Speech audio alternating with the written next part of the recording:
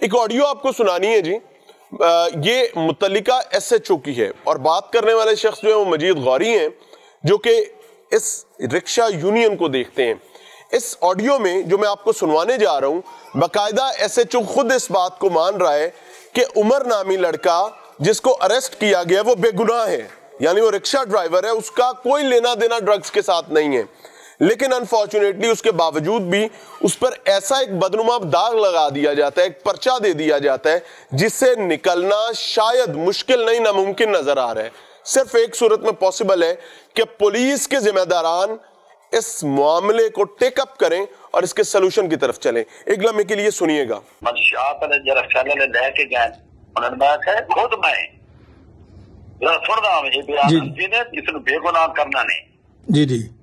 मनशियात वो अगर बेगुनाह न हो तो मेरे मुंह पे बुझा मारे तू ਉਹਦੀ ਬੇਲ ਹੋਣੀ ਉਹਦੀ ਬੇਲ ਹੋ ਜਾਣੀ ਨਹੀਂ ਨਹੀਂ ਨਵੇਂ ਦਿਹਾੜੇ ਅੱਠਵੇਂ ਦਿਹਾੜੇ ਕਿਉਂ ਉਹਦੀ ਬੇਲ ਮੇਰਾ ਕਹਿਣ ਦਾ ਮਤਲਬ ਹੈ ਇੱਕ ਬੰਦਾ ਬੇਗੁਨਾਹ ਹੀ ਹੈ ਤੁਸੀਂ ਉਹਨੂੰ ਕਿਉਂ ਜੇਲ੍ਹ ਭੇਜਿਆ जनाब मोहतरम जिस रक्शे से ड्राइवर से आए थे ਉਹਦੀ ड्राइवर से आए ड्राइवर चला ਕੇ ਤੇ ਉਹਦੇ ਹੱਥੇ ਚ ਰਕਸ਼ਾ ਆਵਣਾ ਹੀ ਬੰਦਾ ਨਿਆਜੀ ਸਾਹਿਬ ਰਕਸ਼ਾ ਪਬਲਿਕ ਟਰਾਂਸਪੋਰਟ ਹੈ ਬੱਸਾਂ ਦੇ ਵਿੱਚ ਮਨਸ਼ਿਆਤ ਆਂਦੀ ਹੈ ਅਸਲਾ ਆਂਦਾ ਹੈ ਉਹਨਾਂ ਨੂੰ ਤੁਸੀਂ ਬੱਸਾਂ ਨੂੰ ਬੱਸਾਂ ਨੂੰ ਬੰਦ ਕਰ ਦਿੰਦੇ ਹੋ। ਜਿਸ ਬ ਸਵਾਰੀ ਦੇ ਕੋਲੋਂ ਪੈਸੇਂਜਰ ਦੇ ਕੋਲੋਂ ਮਾਲ ਪਕੜਿਆ ਜਾਂਦਾ ਹੈ, ਤੁਹਾਡੇ ਕੋਲ ਇੱਕ ਤੁਹਾਡੇ ਪੂਰੇ ਨਾਕੇ ਦੇ ਕੋਲੋਂ, ਪੂਰੇ ਨਾਕੇ ਦੀ ਪੁਲਿਸ ਦੇ ਕੋਲੋਂ ਇੱਕ ਮਨਸ਼ਿਆਤ ਫਰੋਸ਼ ਨਹੀਂ ਤੁਸੀਂ ਪਕੜ ਸਕੇ। ਤੇ ਰਕਸ਼ਾ ਡਰਾਈਵਰ ਤੋਂ ਤੁਸੀਂ ਪਕੜ ਕੇ ਦੇ ਤੇ ਲਾਹੌਰ ਪੁਲਿਸ ਦੀ ਤੁਸੀਂ ਪੋਸਟ ਦੇ ਉੱਪਰ ਲਗਾ ਦਿੱਤਾ ਕਿ ਮਨਸ਼ਿਆਤ ਸਪਲਾਈ ਕਰਦਾ ਰਕਸ਼ਾ ਡਰਾਈਵਰ।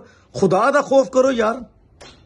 ਉਹ ਮੀਡੀਆ ਜੀ ਲੈਣ ਪਏ ਅਸੀਂ ਉਹਨੂੰ ਤਾਂ ਨਹੀਂ ਰੋਕ ਸਕਦੇ ਨਾ ਤੁਸੀਂ ਯਾਰ ਪੜਾ ਤੇ ਯਾਰ ਰਕਸ਼ੇ ਡਰਾਈਵਰ ਦੇ ਜ਼ਿਕਰ ਕੋਈ ਨਹੀਂ ਕਿਸੇ ਵੀ ਰਕਸ਼ੇ ਦੀ ਆਈ ਤਾਂ ਬੰਦਾ ਨਫਸੀ ਹੈ ਨਹੀਂ ਨਿਆਈ ਸਾਹਿਬ ਤੁਸੀਂ ਤੁਸੀਂ ਨਿਆਈ ਸਾਹਿਬ ਜ਼ਾਲਮ ਆਦਮੀ ਹੋ। ਠੀਕ ਹੈ ਤੁਸੀਂ ਪਹਿਲੇ ਵੀ ਰਕਸ਼ਾ ਡਰਾਈਵਰਾਂ ਨਾਲ ਜ਼ਿਆਦਤੀ ਕੀਤੀ ਹੈ ਤੁਸੀਂ ਹੁਣ ਵੀ ਜ਼ਿਆਦਤੀ ਕੀਤੀ ਹੈ ਔਰ ਅਸੀਂ ਇਨਸ਼ਾਅੱਲਾ ਤਾਲਾ ਕੱਲ ਸੀਸੀਪੀਓ ਦਫ਼ਤਰ ਦੇ ਬਾਹਰ ਧਰਨਾ ਦੇ ਰਹੇ ਹਾਂ ਇਨਸ਼ਾਅੱਲਾ ਤਾਲਾ ਅਸੀਂ ਇਨਸਾਫ ਲੈ ਕੇ ਉਠਾਂਗੇ। ਸਾਡਾ ਧਰਨਾ ਦੇ ਪਿਆ ਮੇਰੀ ਤਰ੍ਹਾਂ ਗੱਲ ਛੋੜ ਜੀ, ਕਿ ਜੀ। ਕੋਈ ਜ਼ਿਆਦਤੀ ਵਿਆਹ ਦੁਸ਼ਮਣੀ ਕੋ ਨਹੀਂ। ਨਹੀਂ ਤੁਹਾਨੂੰ ਜਦੋਂ ਵੀ ਤੁਹਾਨੂੰ ਰਕਸ਼ਾ ਡਰਾਈਵਰ ਮਿਲਦੇ ਨੇ। जी तो ये गुफ्तगु जो थी, ये मुतलिका एस एच ओ कर रहे थे और वो बता रहे थे कि लड़का बेगुनाह है। उसने तो सवारी उठाई थी, उससे, उसका इससे ताल्लुक की कोई नहीं है। लेकिन इनकी एक हिस्ट्री भी है। एक बार दोबारा से ये ऑडियो सुनिएगा और उसके बाद मजीद गौरी जो हिस्ट्री याद करवाते हैं इस एस एच ओ को उसकी, कि पहले भी उसने ऐसा एक काम कर रखा है, वो क्या था? सुनिएगा। न्याय साहब, पहले भी तुम लारी अड्डे इस तरह का एक काम किया ਠੀਕ ਹੈ ਜੀ? ਤੁਸੀਂ ਰਕਸ਼ਾ ਪਕੜ ਕੇ ਬਾਹਰੋਂ ਰੋਡ ਦੇ ਉੱਪਰ ਉਹਦੇ ਤੇ ਫਲੇਵਰ ਪਾ ਕੇ ਉਹਦੇ ਤੇ ਝੂਠਾ ਮੁਕਦਮਾ ਦਰਜ ਕਰ ਦਿੱਤਾ। ਫਿਰ ਤੁਸੀਂ ਸਾਡੇ ਦੋਸਤਾਂ ਨੂੰ ਇਨਵਾਲਵ ਕਰਕੇ ਤੇ ਕਿਹਾ ਕਿ ਮੈਂ ਇਹਦੀ ਬੇਲ ਕਰਵਾ ਦਿਆਂਗਾ।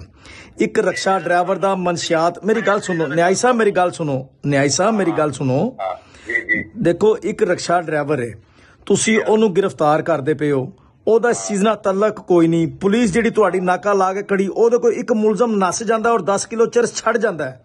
ਤੁਸੀਂ ਉਹਨੂੰ ਗ੍ਰਿਫਤਾਰ ਨਹੀਂ ਕੀਤਾ। ਤੁਸੀਂ ਇੱਕ ਬੇਗੁਨਾਹ ਰਕਸ਼ਾ ਡਰਾਈਵਰ ਦੇ ਉੱਪਰ 10 ਕਿਲੋ ਚਰਸ ਪਾ ਕੇ ਇੱਕ ਮੀਡੀਆ ਦੇ ਉੱਤੇ ਸੋਸ਼ਲ ਮੀਡੀਆ ਦੇ ਉੱਤੇ ਚਲਾ ਦਿੱਤਾ। ਉਹਦੀ ਵਾਲਦਾ ਉਹਦੀ ਬੇਗਮ ਉਹਦੇ ਰਿਸ਼ਤੇਦਾਰ ਖਾਨਦਾਨ ਲੋਕ ਕੀ ਕਹਿਣਗੇ ਕਿ ਮਨਸ਼ਿਆ ਦਾ ਧੰਦਾ ਕਰਦਾ? ਨਹੀਂ ਨਹੀਂ ਮੈਂ ਨਿਆਜ਼ੀ ਸਾਹਿਬ ਜਿਹੜੀ ਤੁਹਾਡੀ ਲਾਹੌਰ ਜਿਹੜੀ ਤੁਹਾਡੀ ਲਾਹੌਰ ਪੁਲਿਸ ਦੀ ਪੋਸਟ ਲੱਗੀ ਏ ਉਹਦੇ ਉੱਪਰ ਤੁਸੀਂ ਲਿਖਿਆ ਕਿ ਰਕਸ਼ਾ ਡਰਾਈਵਰ ਮੁਲਜ਼ਮ ਰਕਸ਼ੋ ਪਰ ਮਨਸ਼ਿਆਤ ਸਪਲਾਈ ਕਰਤਾ ਹੈ। ਮੇਰੀ ਜ਼ਰਾ ਗੱਲ ਸੁਣ ਮੇਰਾ ਭਰਾ जी जी ਜਿਹੜੇ ਮੇਰੇ ਸਬ ਇੰਸਪੈਕਟਰ ਪਰਚਾ ਦਿੱਤਾ ਹੈ ਨਾ जी जी ਉਸ ਹਲਫ ਕੁਰਾਨ ਤੇ ਉਸ ਤੋਂ ਬਾਅਦ 15 ਬਿਆਨ ਹਲਫੀ ਮੈਂ ਉਹਨਾਂ ਤੇ ਗਿਣਵਾਏ ਨੇ ਮੈਂ ਉਹਨਾਂ ਨੂੰ ਕੱਲੀ ਕੱਲ ਕਲਮਾ ਚੁੱਕ ਕੇ ਦਿੱਤਾ ਕਿ ਇਹਦੀ ਮਨਸ਼ਿਆਤ ਨੇ ਨੇ जी जी ਉਹਨਾਂ ਬੰਦੇ ਦੇ ਸਾਹਮਣੇ ਉਹਦੀ ਮਾਂ ਇਹ ਅੱਛੇ ਤਰੀਕੇ ਨਾਲ ਬੁਲਵਾਇਆ ਵਾ ਉਸ ਤੋਂ ਬਾਅਦ ਰਕਸ਼ੇ ਡਰਾਈਵਰ ਤੇ ਮੈਂ ਮੁਲਾਜ਼ਮਾਂ ਨੂੰ ਆਮਣੇ ਸਾਹਮਣੇ ਗੱਲਾਂ ਕਰਾਈਆਂ ਤੇ ਥਣਦਾਰਾਂ ਦੀਆਂ जी जी ਮੈਂ ਦਸਤੀ ਡਿਪਟੀ ਨੂੰ ਦਿਖਾਇਆ ਐਸਪੀ ਨੂੰ ਦਿਖਾਇਆ जी जी जी तो बुनियादी मामला जिसमें मुतलिका एसएचओ मान रहा है कि बंदा बेगुनाह है और ये ज्यादती हो रही है, जमानत हो जाएगी इसकी। लेकिन फिल वक्त उसको जेल भेज दिया गया है। क्यों? क्योंकि पुलिस ने जो एफआईआर दी है, उसमें कहानी ही उलट दी है। पुलिस के मुताबिक पुलिस को पहले रिक्शे की इतला हुई, उसने उसको ट्रेस करने के बाद उसका पीछा किया। पीछा करने पर जब रोकने की कोशिश की गई तो रिक्शा ड्राइवर, जो कि बजाहिर बेगुनाह नज़र आ रहे उसने रिक्शा नहीं रोका। और उसके बाद पुलिस ने उनको इंटरसेप्ट किया और इंटरसेप्ट करने के बाद मुलजिम भाग गया साथी और रिक्शा ड्राइवर फंस गया। यानी उनके अब के बयान के मुताबिक ये तमाम कहानी उमर नामी रिक्शा ड्राइवर के गले पड़ रही है। अस्सलाम वालेकुम। वालेकुम सलाम। कितने अरसे से जानते हैं उमर को? उमर को मैं तकरीबन दो साल से जानता हूँ। इससे पहले उम्र के वालिद रिक्शा चलाते थे? इसके इससे पहले उम्र से यही रिक्शा इसका वालिद चलाता था। उनकी तकरीबन दो साल पहले डेथ हो गई है। उनका ये रिक्शा अब उमर चला रहा है। अब वो घर का कफील है। अब वो घर का कफील है और ये बत्ती चौक में यूनिट है अवामी रिक्शा यूनियन का मैं उसका सदर हूँ।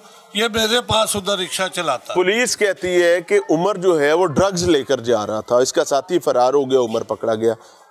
क्या सच है क्या झूठ है? नहीं जी ये सरासर झूठ है।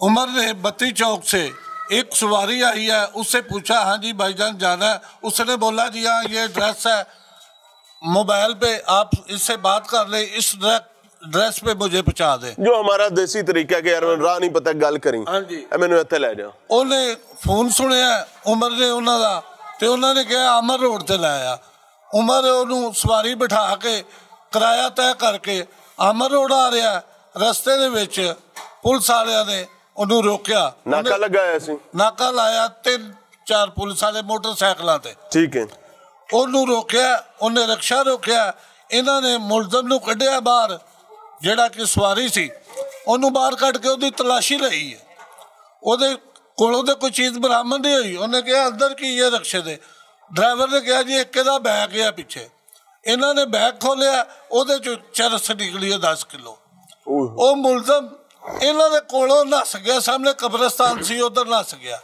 ਇਹ ਪੁਲਿਸ ਉਹਦੇ ਪਿੱਛੇ ਨਸੀ? ਪੁਲਿਸ ਉਹਦੇ ਪਿੱਛੇ ਗਈ ਲੇਕਿਨ ਫੜ ਹੀ ਨਹੀਂ ਸਕੇ। ਅੱਛਾ। ਦੌੜਿਆ ਤੇ ਇਹਨਾਂ ਕੋਲ ਜਾਂਦਾ ਨਹੀਂ। ਪੰਜਾਬ ਪੁਲਿਸ ਹੈ ਨਾ ਖਾ ਪੀ ਕੇ ਮੋਟੇ ਤਾਜ਼ੇ ਹੋਏ ਨੇ। ਉਹਨਾਂ ਨੇ ਉਹਦੇ ਪਿੱਛੇ ਦੌੜ ਨਹੀਂ ਲਾਈ।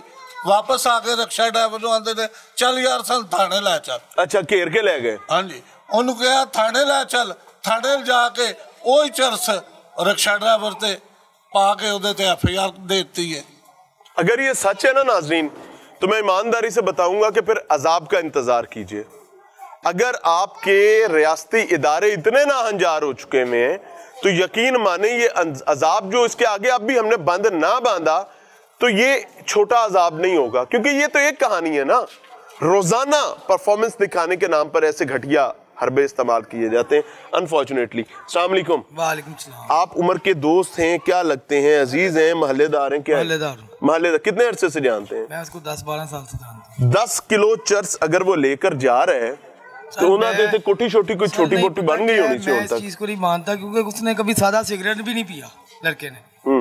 उसकी कोई ऐसी शिकायत कोई मामला तो कोई ऐसा कोई चक्कर नहीं है। और दूसरी बात जब मैं उधर से आया हूँ ना तो मुझे पता चला है कि ये कहना मैं उम्र इस तरह पकड़ा गया। तो मैंने कहा क्या हुआ है? उन्होंने बताया मुझे मोहल्लेदारों ने कि जी पुलिस वाले पकड़ने लगे हैं उस लड़के को तो वो कब्रस्तान की तरफ़ दौड़ा है। जो मुलजिम था। जी मुलजम जो था जो कब्रस्तान की तरफ़ दौड़ा है ये गए हैं पीछे। पीछे से कईयों ने उसको क्या लड़के को कि तू निकल जाने का नहीं मेरा कोई कसूर नहीं है। हाँ जी हाँ। उसने कहा मेरा कोई कसूर नहीं है मैं क्यों निकलूं? वो वहाँ खड़ा रहा। जब तक दस मिनट तक पुलिस नहीं आई दस मिनट बाद जब पुलिस आई है तो जब वो खड़ा रहा और पुलिस उसको लेके तो थाने चलेगी हम तो जाके उससे तो पर्चा हाँ देते। हम उधर गए हमारे साथ एसएचओ की बात हुई। एस एच ने क्या जी क्या नाम है? मैं पर्चा नहीं देता इसके ऊपर। आप लोग दस पंद्रह गवाइयाँ लेके हैं हम गए हाँ जी स्टाम्प पेपर पे गवाइयाँ लेके हैं हम अपने महल्ले आए वापस। यहाँ पे स्टाम्प पेपर पकड़े लड़कों से गवाइयाँ पकड़ी है हमने। जो जो उसको जानता था, अल्हम्दुलिल्लाह सारी तकरीबन जानते हैं इनको। शरीफ लोग हैं ये लोग। ठीक है, जो जो उसको जानता था, सारे दोस्तों ने मिल के गवाही दी। मैंने दी, मेरे दोस्त ने दी, फिर मेरे एक और दोस्त है, उसने दी कि हमने गवाही दी कि ये लड़के इस तरह के नहीं, ये फैमिली इस तरह की है ही नहीं है। एक नहीं, ये फैमिली इस तरह की नहीं है। पुलिस वाले ने कहा, मैं पर्चा नहीं दूँगा। जब छः बजे, सात बजे के तकरीबन करीब हम उससे बात करने लगे एस से तो उसने कहा, जी, मैं पर्चा इसके ऊपर दूँगा, खाली ड्राइविंग का। अच्छा कि ਇਹ ਡਰਾਈਵਰ ਸੀ ਐਲੀ हमें ਜਾ ये ਰਹੇ कहा ਸੀ गया कि यानी खाली- उस टाइम भी ये हाँ खबर जी, दिया कि हाँ जी ਤੁਹਾਡੇ ਮੁੰਡੇ ਨੂੰ हमें कुछ नहीं ये कहा होगा गया कि खाली ड्राइविंग का पर्चा देंगे जिसकी सुबह जमानत हो जाएगी हम्म तो जब 12 बजे मैं एफ आई आर की कापी लेने गया अपने भाई के साथ अली के साथ के जाके देखेंगे कि एफ आई आर पे क्या लिखा है इन्होंने इन्होंने फिर हमें नाइन सी का पर्चा डाल दिया दस किलो ਇੰਨਾ ਲਿਲਾਹ व इन्ना इलैहि राजिऊन ਤੇ ਰਾਣਾ ਸਨਾਉਲਾ ਤੇ ਪਰਚੇ ਪੈ ਜਾਂਦੇ ਨੇ यार वो तो तगड़ा आदमी सी निकल गया ये कैसे निकलेंगे मुझे आप ऑनेस्टली बताएं पुलिस ने जो करना था इनके मुताबिक, अगर इनका मौकफ दुरुस्त है तो पुलिस ने तो गंद मार लिया। तो राना सनाउल्ला तो निकल गया। ख्वारी काट रहा पर्चा तो अभी भी है। लेकिन मैं राणा साहब से बात करना चाहूँगा कि राणा साहब, ध्यान करो। वजह क्या है कि यार एटलीस्ट इस वक्त आप स्टेट मिनिस्टर तो है ना? आपके नाक के नीचे वो कुछ हो रहा है जो नहीं होना चाहिए।